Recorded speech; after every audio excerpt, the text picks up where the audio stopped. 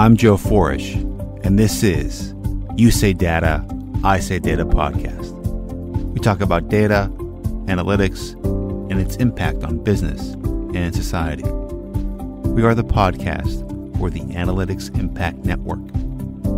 Please visit us at analyticsimpactnetwork.org. Have you ever wondered why there is no everlasting remedy for potholes? How can you make a profit by investing in real estate? Finally, what can data do to change and shift your perspectives? My guest today is Dr. Gordon Chiu. Dr. Gordon is an author, innovator, and investor. He completed Wharton's Advanced Management Program and Harvard's Business Analytics Program during the latter part of 2022 and co founded his startup, Finagra, in February of 2023. Gordon is pleased to share that Finagra won the 2023 Global Tough Technology Prize in the Harvard Business School Alumni New Venture Competition. Finagra will initially commercialize Dr. Chiu's discovery of reactive graphene as a graphite and asphalt additive that provides the durability, bonding, and oil retention of conventional asphalt. The new asphalt composite is proven to be an effective material for making enduring pothole repairs. Hi, Gordon. Welcome to the show. Joe, it's uh, finally we get to uh, we get to do this, right? Yeah, we've been planning this for quite some time, so it's great to see you and uh, great to chat with you this morning. Likewise, likewise. Yeah, so we we have a lot that we want to talk about because over the past few months we've talked about a lot of things. But mm. I think one thing that's really prevalent on a lot of people's minds uh, these days is EVs and how they're impacting the infrastructure of the country of the world. So I was curious to hear your viewpoint on oh. that. Well, that right, hits right to the ju- you know jugular, right? You know, it's like it's like I it really didn't wasn't my problem it's like I, I have two children, but if you asked me, it's like when we do the interview, Joe, matters because if you asked me a question before I was going to have children, my answer was I wasn't planning on having children. So what what do you think children will be like? What do you think of children in the future? And I said, that's not my problem. Right. I mean, I'll answer you because I'll answer anything. that's how I am. Right. But uh, I, I, my, I just didn't have any relevancy to me. To me. So like potholes and EVs like these two topics um, really have a lot to do with each other when you look at data and data right? So so you say like evs are are at least 130% heavier than your average vehicle right? Ah. yeah. Think about that right? That's right. that. yeah. Uh, the battery it's just like there's nothing like lithium. If you've ever dealt with a lithium battery i mean it's just heavy right it's very dense. And other things you know come along with it like you see the boeing reports and things catch on fire but forget about the fire. Just focus on the weight right? And you say and also you know what's nice about an ev is that the acceleration is like you tap it and it goes. It's like putting yeah. a lot of fire. You, you you drive an ev i have yes. yes. Okay all right. Well there you go. You know like the amount of it's like really quiet yeah. And it's like it has a lot of power. yeah, the torque is incredible. Yeah. Exactly. So so you imagine the torque on your tires, right? Yeah. So your tires are going to wear out about 20 to 30% faster. But if you're buying an EV, you don't care so much about that. Now, how about what it does on the roads, right? You've got a substance. Like the favorite picture I have is, you know, the Cybertruck right? Mm-hmm. Right. Uh, and and so not to name any names, right? Just Cybertruck, right? So you have like these advanced vehicles. Looks like you're from the Terminator, and it's really cool. And you're driving down the highway, and this marketing piece just has like the ground below it as the same material that we use currently and we've been using since the 70s and 50s. It's just like plain old vanilla asphalt.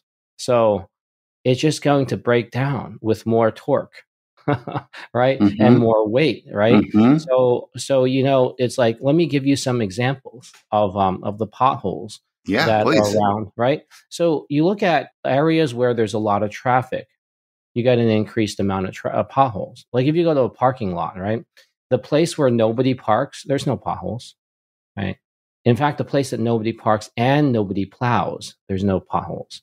It's like really good, right? But the moment you have like a lot of traffic, right?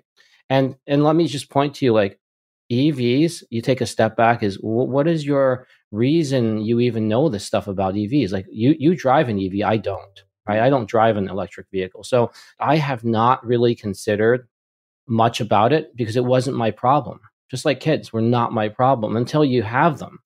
So because I don't have an EV, you'd think like, why do you know so much about this stuff?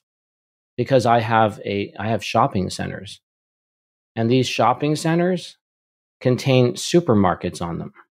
Mm-hmm. And these supermarkets don't have any EVs, but they have like these massive trucks that go there every day to deliver something called groceries. Right. And I thought, you know, when you're buying real estate, you know, why, why do you buy real estate? Well, I buy re- bought real estate because I had kids and I didn't know if I was getting smart ones or dumb ones. Like, how, how do you know? Right. And, and by the time you get to know that you got smart ones, everybody thinks they got a smart one when they're like three years old and they're able to talk and walk and, and maybe do some other things. Right. But then when they get to 15, maybe it's not so magical anymore. And by the time they get to their 20s, right? I know, like talking about data, because you and I come from a place called Harvard Business School's, you know, analytics program, right? So they they went and did this program that focuses purely on data and looking at what that could do. And you know, one of the business cases showed that if you go to a dentist, they could actually not see your teeth really well because it's their interpretation of the x-ray. You actually don't get to work with them to compare. So then they showed that this ai model could tell that they were flawed these dentists.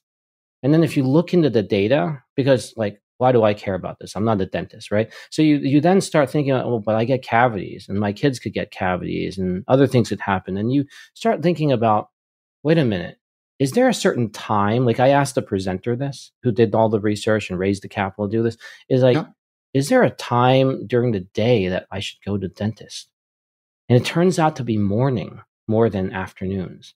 Really? like yeah there's not an exact time but dentists are people right they're human and they make mistakes and you say really so then now every time i book a, a dentist now it's affected me so that's just a, a side anecdote right to the plaza so I buy this piece of property. Now, it's not cheap when you buy commercial. Like, it's not a few hundred thousand dollars. You're borrowing millions of dollars to buy this thing that you base it off of a piece of paper that says, here is your cap rate. And just to explain what a cap rate is, it's based on whatever your, like the total amount, what it's going to yield you. And not so long ago, you couldn't get anything at the bank.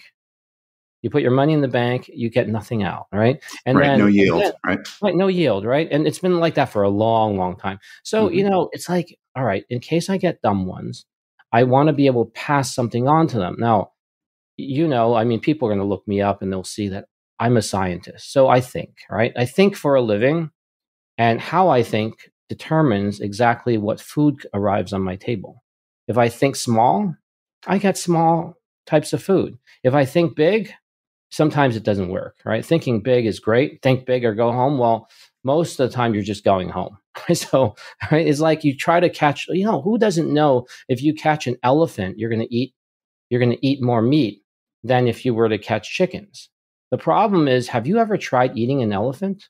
Like never. right. I me neither. I've never eaten an elephant or a woolly mammoth, right? For that. You know, it's like right? Could you but you could you imagine if we were back in the you know caveman days and you and yeah. i would go to this place called harvard back then they had like a different name for it i'm sure and it was all about the rah rah attitude and you'd come up with these songs to know like you and i would chant to ourselves because we in the cave with those writings and why, why do we have the writings is because we know that the both of us one of us might not make it or both of us not make it but we have to psych ourselves out so that i'm just painting some images in your in the listeners heads right about this so that's how the chance came. But you you want to say like, imagine you and I also knew Thomas Edison. We could go in this time machine and say, hey Thomas, you know, how did Cleopatra sing? Like, you know, I'm sure she did well because she was Cleopatra.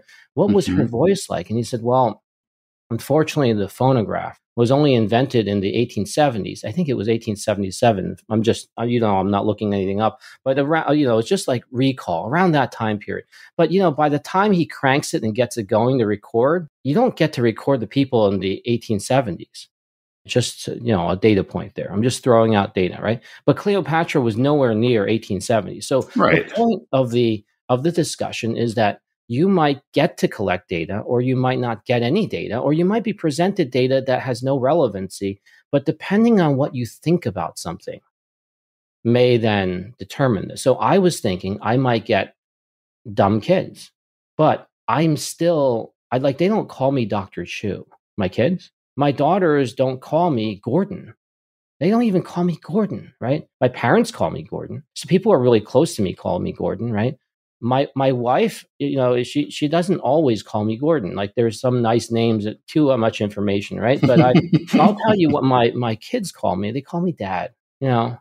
Yeah and so it's really close and intimate which also is code for like you're responsible for bringing them into this world right if you look at it that way so so i started looking at my senses became heightened and i and i said i got to do something for them that has nothing to do with science because they don't know any science. In fact, for the next 18 years from the time they're born, they don't know enough science to do anything. Like I, you don't go to a one year old and say, What is your return on investment?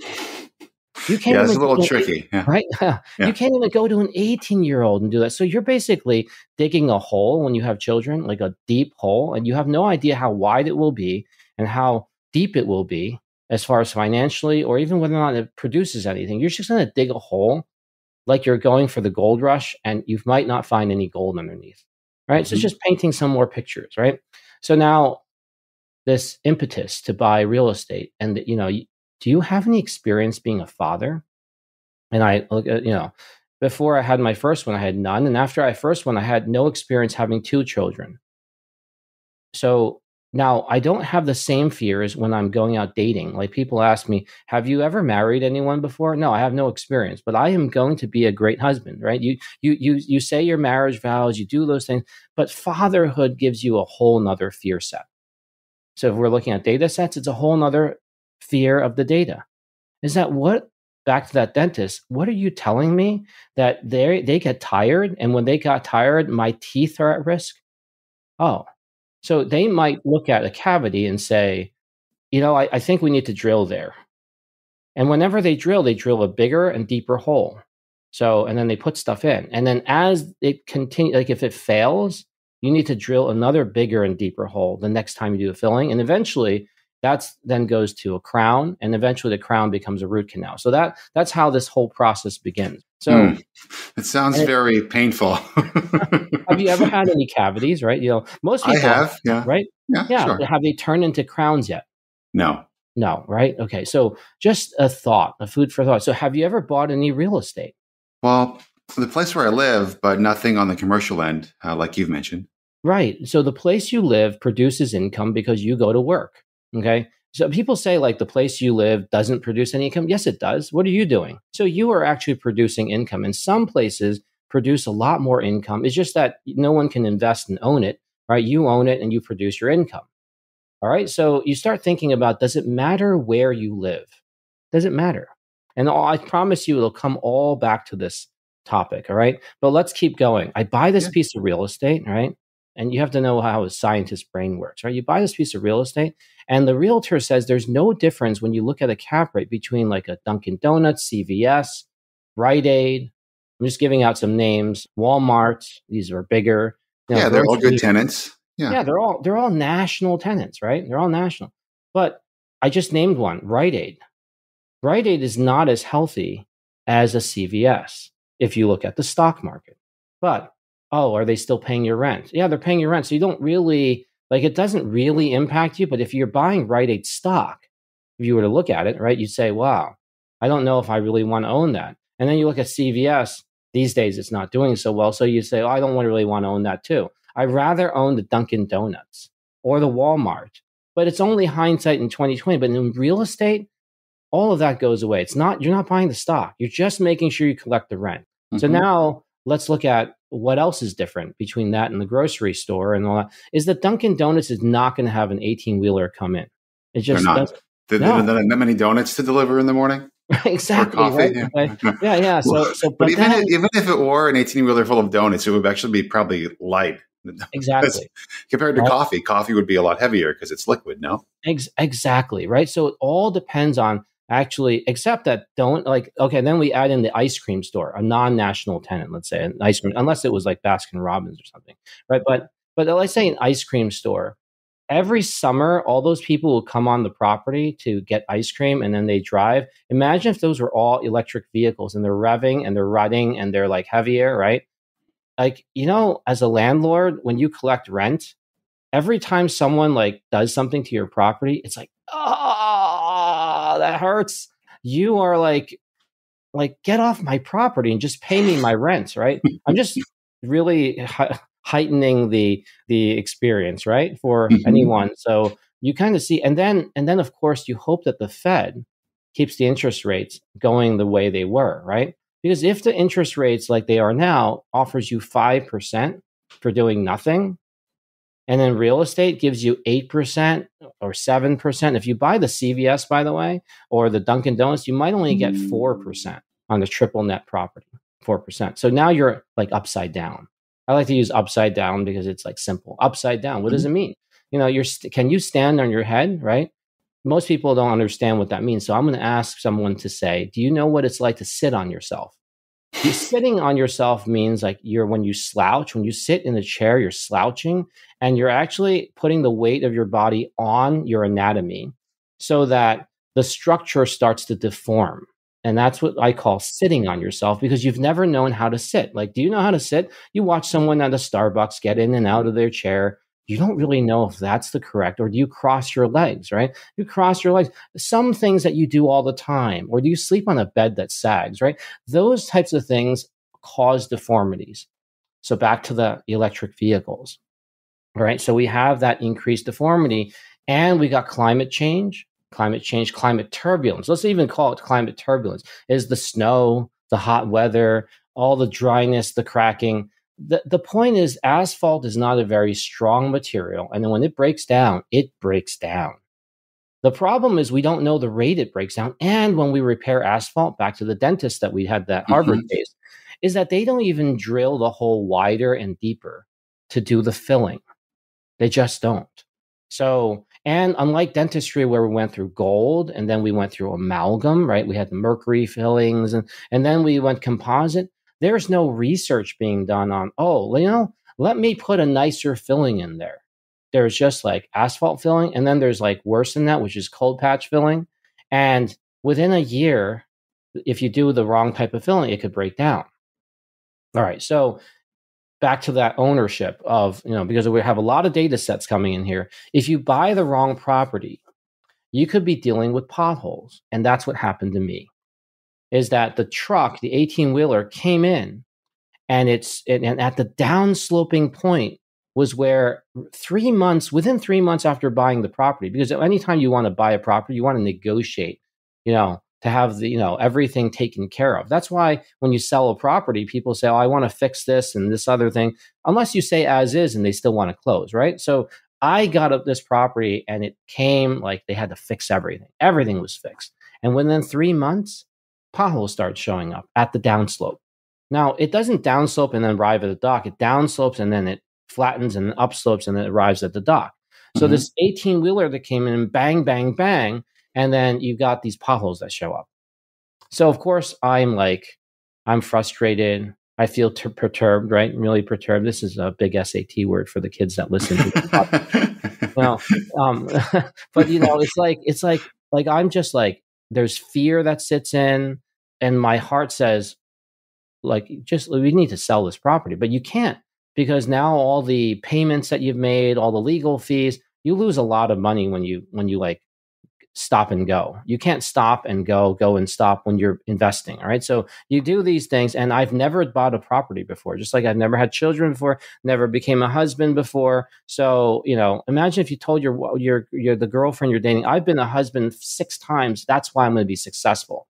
right? I noticed you just took a sip of water. I want to make sure that I control that, right? Because you know we don't want to. Yeah. So risk, right? Risk and reward. We know that you know, anytime there's risk, there could be a reward.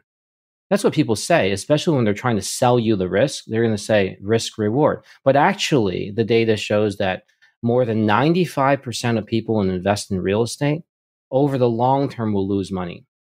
Yeah. Really? And that's yeah. across commercial, residential, well, I don't else. know if you like start splicing all the details, right? Mm-hmm. But you will lose money. So, for example, in residential, if you wow. live there and your taxes go up, right, your taxes keep going up, you don't calculate that. So you feel like you've actually made money. But if you included like making money as like net net, most people would lose money.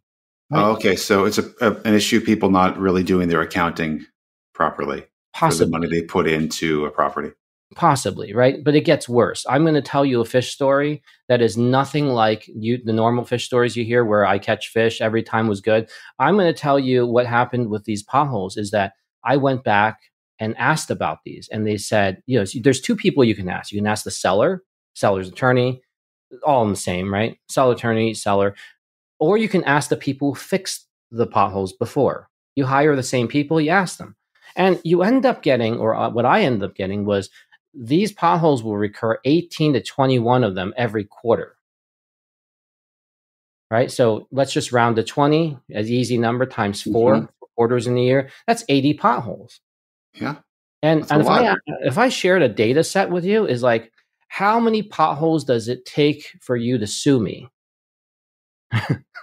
does it take 80? Does it take 79? Or it's like one, right? One pothole is enough for someone to sue you if they fall into the pothole or they affect your car or you know uh, something happens right? So cities and towns are being sued all the time but they've got a provision that says like if someone didn't report the pothole ahead of time and they didn't fix it within a reasonable time then you can sue them. But if it's like if it's like you know that nobody reported it and you fell in the pothole first and you like damaged your car you actually can't sue them Right? Hmm. You can't claim any damages, right? And suing is just a process. It's just like you really just want to claim for the damages, right? Move on. So, what kind of damages are we talking about when it comes to um, to these potholes to a car? It's about six hundred dollars, and that's an average number, and it's highly dependent on what type of car you drive. If you drive a Tesla, low profile wheels, and you end up in a pothole, on a rainy day and it just wasn't like you were going faster because you had the vehicle and you thought the road was flat, flat, flat and you went inside this pothole and it ends up being deep, you could damage a lot of things, right? And remember, the battery's there. There's a lot of stuff. So numbers out there, you can go on YouTube and see it. It's like twenty six hundred dollars, and uh, yeah. So you know, so let's go back to the six hundred dollars though. Is that the average American cannot afford the average American not afford a $600 bill for their car. And that, what is that? How many Americans are we talking about? About 62%, according to um, the uh, Automobile Association of America, right? So, according to AAA. So, you start looking at that's not my problem. I just like, I, I can like avoid these potholes when I'm driving. I don't have to buy a Tesla.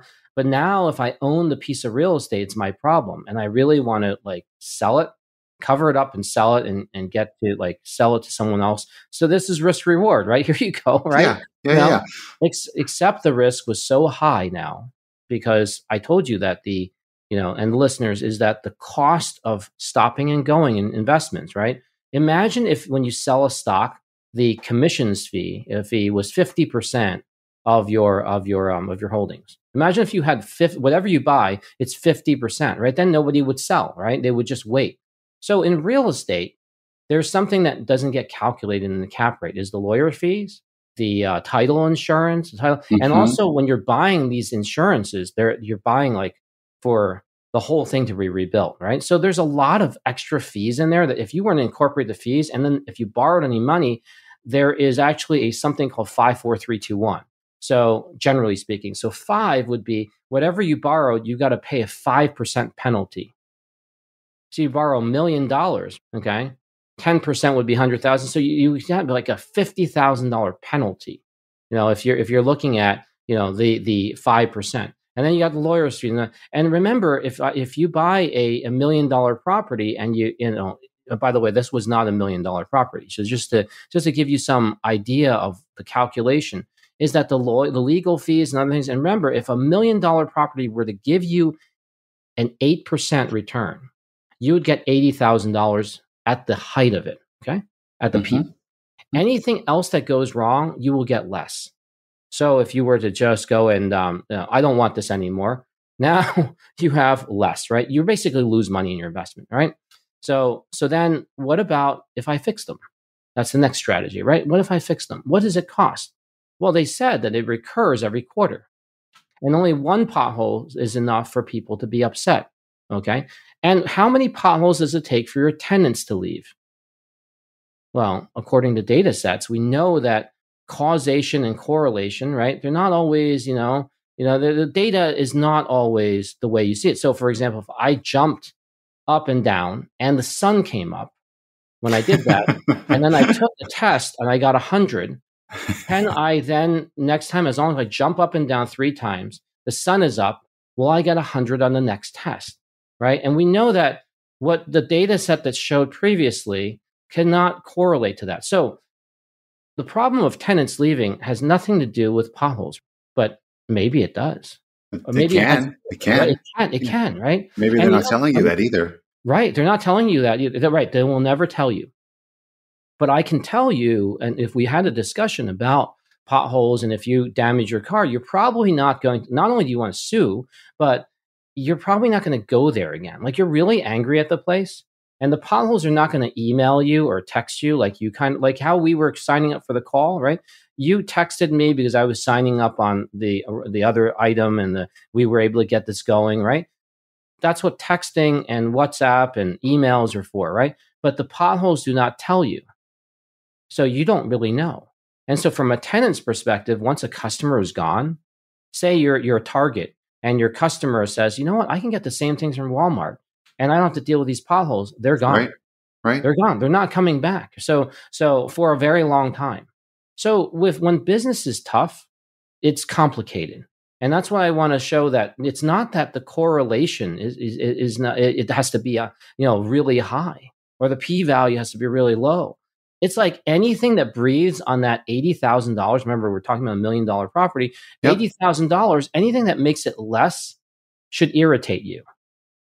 Because if you're owning a million dollar property, you probably work for a living you know, work for a living, and you're hoping that the $80,000 is supplemental income for your nest egg.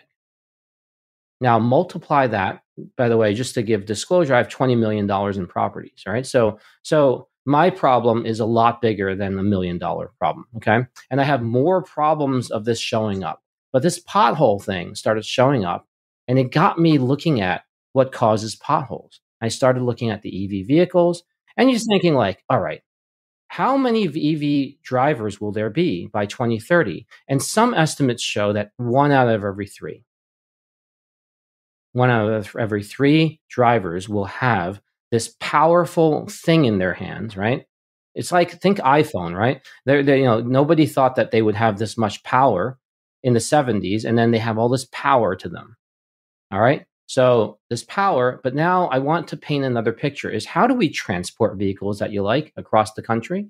Right? It doesn't just appear at the at the ports and it just arrives in your town. Like what if you live in the middle of the United States? How do you get an EV electric vehicle? It's transported to you. They don't drive your car.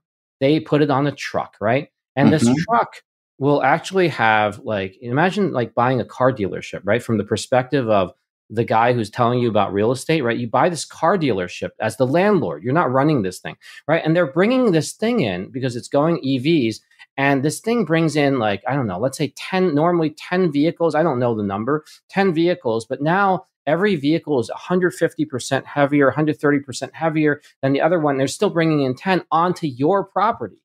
What the hell? Right? It's like you're looking at this and say, how come I didn't listen to Joe Forish's podcast? I could have that stuff, right? You know, like if, I, if, only I knew, right? You heard it here, right? You heard it here that correlation and causation, forget about that. Throw it out the window. Is anything that eats into your 80K on that $1 million property, should you should like really heighten your senses, right? Yeah. It's and like the way that you've described it, given that there's potholes every quarter and we're using $80,000 as an example, mm. it sounds like it's a pretty expensive problem to have as a real estate owner. Oh yeah, and you know the banks. Remember how we did that case on Lending Tree, right? You know, yeah. we did the Lending Tree case. Well, they were showing like there was this guy who was actually a um, like Lending Tree's model is to lend to people who who are more risky, right? Uh, but they make a better return, and and they're they've got this algorithm that figures it out. So we went inside the data set, and we, I saw, I literally saw a guy who works for a living in the jail centers, right, looking after the inmates but he mentions that he has $8 million stashed somewhere and he just needs 50 grand. All right. Wow. Now, is that an outlier that like, you know, you throw out of the data set, right? Because you say like, what is the chance of the guy having $8 million? But what is the chance? Why does he need 50,000 now? And will he pay us back? And on top of that, that data set, he was, he was actually over a year delinquent. Hmm. What mm. do you hmm. think? Right? That's funny. okay. Right. Right. So, so like I just wanted to geolocate where these potholes were, and it was on the downslope. Right. Okay. The downslope going into the loading dock yeah. on your property. Mm-hmm. Well, it downslopes, then it flattens, then it upslopes to the loading dock. Right. So, okay. and it's just one loading dock, or is it multiple? It's one massive loading dock for the okay. for the supermarket. There's other tenants, right, that don't mm-hmm. need that, but they have this loading dock, right? Okay, so now I'm looking at this and saying, like my scientist mind. Like normally I charge for being a scientist, right? Remember I'm talking about real estate. I couldn't charge myself, right? So I worked for free. Make sure you add that into your accounting, right? Because like this other entity owes me all this money, right? Yeah. But because I'm also, it's also my right hand. It's like left hand, right hand. It's also your right hand. Do you want to cut off your right hand? You don't want to use your left hand to help your right hand, right? So it's like it taught me a lot of things about like parenting when I talk to my two kids is like, yeah, I know that you finished your all your food, but your sister hasn't finished yet. So it's like it counts against both of you. so and, then, and because like the other one will start talking the other one, further delaying, and it turns into a three hour meal.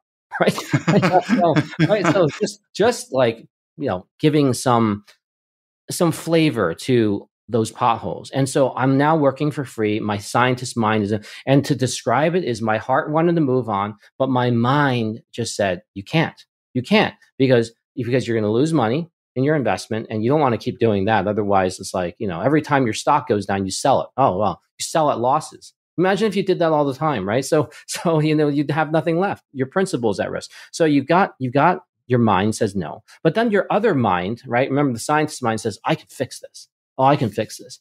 How do you fix this? Well, do you know anything about paving? No. Have you paved anything before? No. Right. So, so, but I've worked on this thing called graphene, right? And so okay. I put graphene, which is, by the way, a 23rd century material that's stronger than diamond, right? More conductive than copper. And, you know, this was part of my other venture. That's how come I had money to like invest and various things like that. All right. So I go in there and I fix these potholes. And when you fix them, you actually don't know what you're doing, by the way, right? Because you've never fixed potholes before, right? You have no eh, eh, eh, experience in business. And same thing you could apply to the real estate. You've never done bought any real estate like that before. In fact, the bank told you, like, why would we lend you money? Do you have any experience? And the answer was no, right? Now I was able to convince them. I said, don't worry. By the time I'm successful, you would have wished you never asked me that question, right? right? Okay. So you're you're trying to convince them, but in your heart's heart, you know that you don't have experience. So I put it in there and you cross your fingers, right? You really cross mm-hmm. your fingers and hope it doesn't it like it just it just works, right? And it worked. The potholes never came back ever, and it's been five wow. years. Wow. So yeah. you you went and developed this this material called mm-hmm. graphene Right. And was it the first time you used it was at your your commercial center where the shop the supermarket is to fill the potholes and it's worked for 5 years? Yeah, so it's not the first time I've used graphene. I've used graphene for over 10 years oh. in different systems where people hired me. Like, for example, a military would ask me to do something and then they want to heal their ships and it's metal uh, and you are able to do that. So I have a series of patents on that uh, all granted patents. Like they dump $40 million, right, into the thing. And so you know that it can strengthen plastic. If you just Google my name, Dr. Gordon Chiu and patents, you'll see like a bunch of these patents, right? So I have now 41 patents that are granted, right? Granted patents all over the world about how you can use various inventions, but a subset of that is a large subset is on graphene and what it can do. It can make a sponge, and then that sponge can selectively only, like a household sponge, now is transformed to absorb only oil and not water. Like, what household sponge do you know that only absorbs oil and not water? You take the same household sponge and you add the graphene to it. You got to add a special kind of graphene called reactive graphene. And then you now, like, almost like imagine if you had a friend called Clark Kent and, and you know, he could be Superman, but but what he does, and this is a new new storyline for us, is he could give you his powers temporarily, just transfer. And but then he has to become Clark Kent, so he goes to work, right? But he can transfer right. his powers to you. All right. Now that's a pretty amazing thing. Now, but he doesn't have to transfer powers to you. He can also be Superman. So graphene has this story to it. It won the Nobel Prize in 2010 in physics wow. right? Two two Russians, uh, you know, developed this, right? Andrei Geim is one of the names, and the other one is Novoselov. And so you've got this thing, and how they discovered it was using Scotch tape. So you take Scotch tape to, like, uh-huh. if you uh-huh. take a graphite pencil, right, which is yeah. a mechanical pencil, and you scribble on something, you put the Scotch tape on there, and then you peel it off.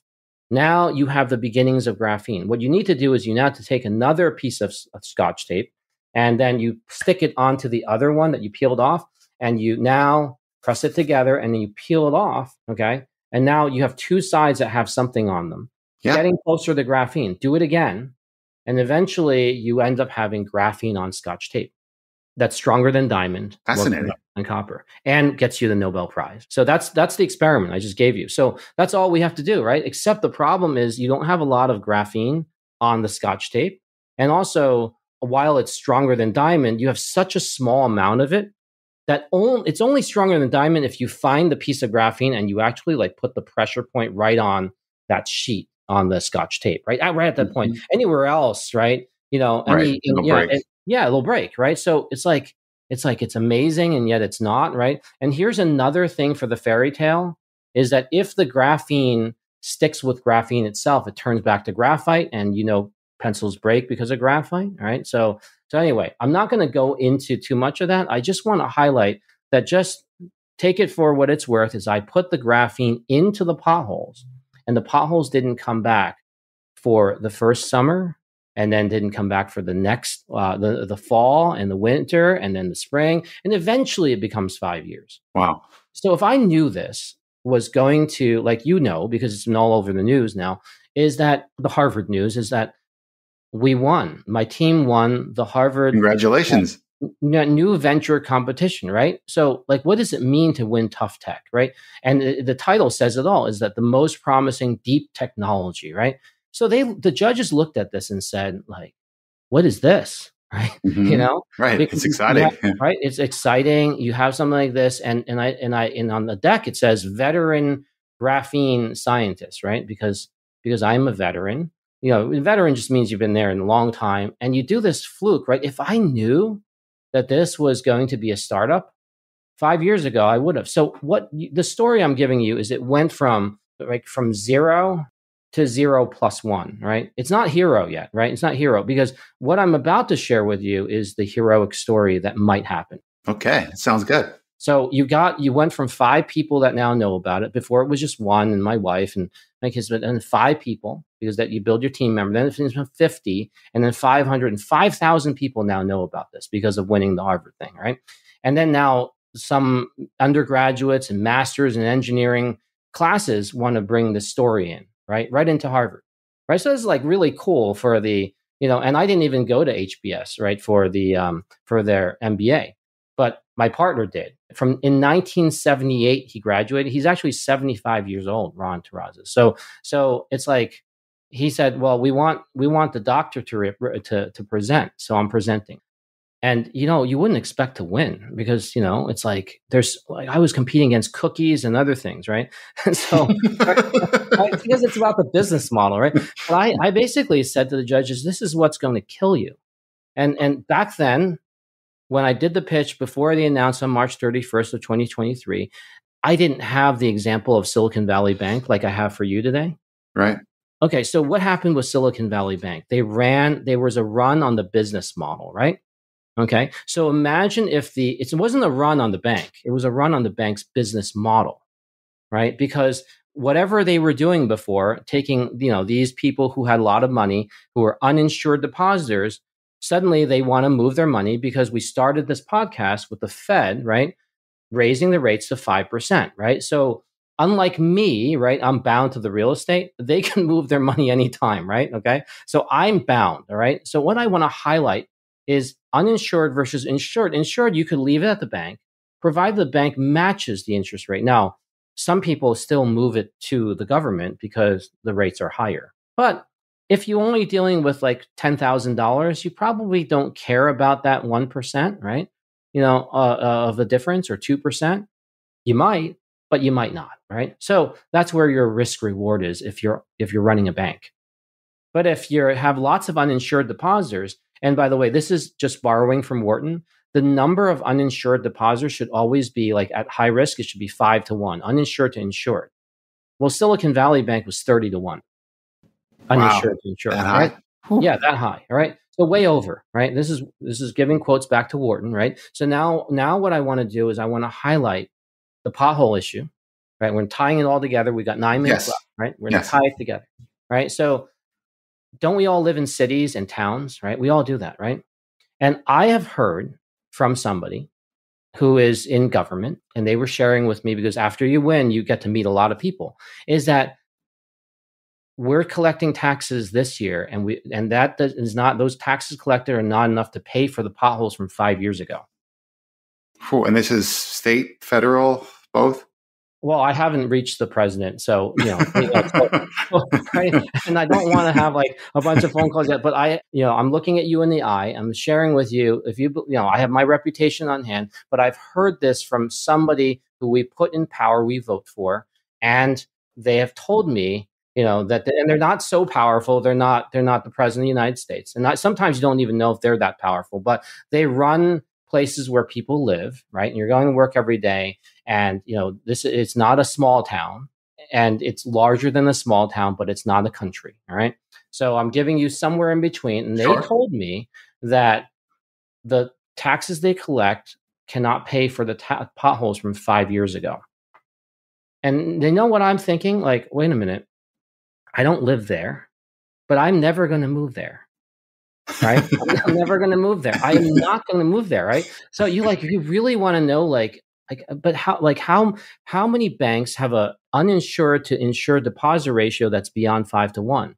You want to really question. know, right? You really want to know. It's like how many cities and how many towns are collecting taxes from me that can't are not paying for this year's potholes, this year's infrastructure costs. And just like because it has nothing to do with me, I'm just going to pick the places that have a good ratio. So, what happens if 200,000 people leave a city? You don't get to collect those 200K persons' taxes anymore, right? right. They move to another state. Well, that's by the way happening all over the country for other reasons, by the way, right? And I just I just sent you that article from Forbes, right? So you know that Forbes Forbes wrote about how the electric vehicles, the weight, no one's talking about that. And then the other article was on climate conditions causing more potholes. Like you get potholes in Hawaii, by the way, it's number two in the country. Like I'm pretty sure people know that Hawaii doesn't snow. So it doesn't snow in Hawaii. So it's not the snow. People like to say, and then I sent you the Today Show with Arnie, you know, Arnold Schwarzenegger filling his pothole, right? So they did a whole show on why the potholes are happening and their data set is wrong. And I'm telling you, the potholes happen like it didn't happen all over my property. It only happened at a certain spot because there was a condition where that big 18 wheeler would come in and it was downsloping. So you have to look at all the conditions. And then what you want to do is you want to do the dentist thing. You want to rip out the area deeper and wider. Now, if you're not able to pay for your existing potholes from five years ago, and I told you we need to rip the pothole deeper and wider, you're going to say, like, no, no, no, we can't, we can't do that. So just the fear of like the misunderstanding of the materials and what it is, and you keep using asphalt and using a weaker material like cold patching, you just don't do it right. And by not doing it right, you know those people who make have fillings but have teeth grind they're like they grind their teeth at night. And if the filling is on the bottom, even with the right kind of like a better filling, it still breaks down. So because it's breaking down even teeth, right? Tooth material. So so the what's going to happen in the future? I'm just going to paint the picture to end this is that we could have mass migration issues, runs on cities and towns because if the number of potholes, which is by the way 55 million a year, new ones keep appearing, right? In the US. In the US, just alone in wow. the US. Other countries wow. have this issue, right? You know, so we never upgraded the material called asphalt, and we're now going to put something that is so much stronger, so much better. That's why you buy them, right? And they weigh so much more onto the hands of, let's say, 100 million Americans start running around with this stuff, right? These electric vehicles. Electric vehicles are a great thing. It's just that if you're going to upgrade the car, you probably want to upgrade the road surface too. Yep, upgrade the so infrastructure. The article, right. So I the article I sent you uh, from Discover magazine, easily to look it up, you know, and, and it talks about it's about to really come to a theater near you. Is that this stuff that's that's breaking down is going to double? So you're going to go from 55 million maybe to 100 million potholes per year in the country by within the next 10 years. And they left out anything about electric vehicles. And then the Forbes article that talks about electric vehicle talked about it doubling, but also left out the whole thing about the um, climate conditions. So if you combine the two of them, well, it doesn't have to double and then double. It just shows you that we're playing whack a mole when we fix potholes. We're dealing with those, those things. But the wrap up of the story is I had no idea. This whole story that I gave you is real, 100% real. And I had no idea. I had no business doing this business. But because of the scientific mind and going through that, you kind of go through that exercise and you make it. And when you do make it, you get to tell the story. I assure us that we have all kinds of stories of people burning inside the forest that had great stories too, but they never made it. So you never hear the story. So mm-hmm. there is correlation for you. I stumbled on something really, really dramatic is that because we played whack a mole, because there's asphalt breaking down everywhere, and because we look at the sky to tell the weather, but nobody's pointing the cameras down on the roads and saying, don't look down. But we, but do you know like this spot that's discolored? It, what's the percent chance of this turning into a pothole? Can we treat the surface area before it turns into a pothole? Can you do surface treatment? Imagine if you could do that with the reactive graphene. So that's why this company was formed is to go and create an open platform for anybody who wants to ask those questions. With this fantastic, material. yeah, yeah, fantastic, yeah. There you go. So that wraps it up. Any questions? well, I do have one question at the end, but before sure. we go, I really enjoyed how you weaved all the stories together throughout our episode here and tied them all together at the end to let everyone know who's listening how everything works and Oh, what it means to be interesting, right? I, yeah. I hope that you you know the listeners enjoy it. It's a little bit different. You know, the scientific mind works differently. You always exactly. tell if it's a scientist if they start talking like a politician, then then that's a politician, right? If they exactly. talk like a scientist, that's a scientist. If they talk like a lawyer, that's a lawyer. So if a cow sounds like a horse, it's really not a cow, right? Of course, right? Yeah. Okay. I think we might be getting into animal farm here, but uh, yeah. Yeah. before we go down that path, I, I do have one question uh, that I ask everyone. Sure. I ask all my guests: Do you say data or data? I say both. Yeah, it really hmm. depends on my mood, kind of. Okay, well that's that's great. Well, I really appreciate your time, Gordon. I had a lovely time chatting with you, and I'll talk to you soon. Yeah, who's your daddy, right? Don't call me dad. My my kids do that. Thank you, Josh. All right. Bye bye. Thank you for listening to You Say Data, I Say Data podcast. To become a member, sponsor, donor, or podcast guest, please visit us at analyticsimpactnetwork.org.